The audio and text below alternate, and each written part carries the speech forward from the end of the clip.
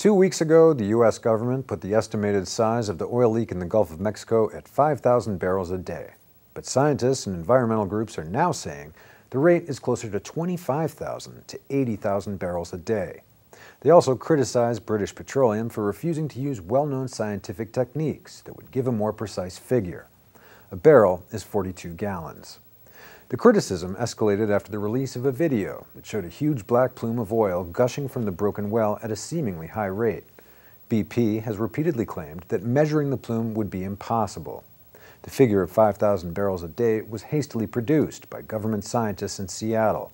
It appears to have been calculated using a method that is specifically not recommended for major oil spills. Even that figure was released with public objections from BP, who initially insisted the leak was at about 1,000 barrels daily. Ian R. MacDonald, an oceanographer for Florida State University, who is an expert in the analysis of oil slicks, says he had made his own rough calculations using satellite imagery. He says they suggest that the leak could, quote, easily be four or five times the government estimate. He said, the government has a responsibility to get good numbers. If it's beyond their technical capability, the whole world is ready to help them.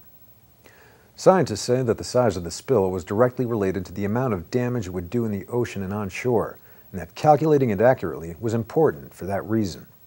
BP Senior Vice President Kent Wells told reporters recently, quote, there's just no way to measure it.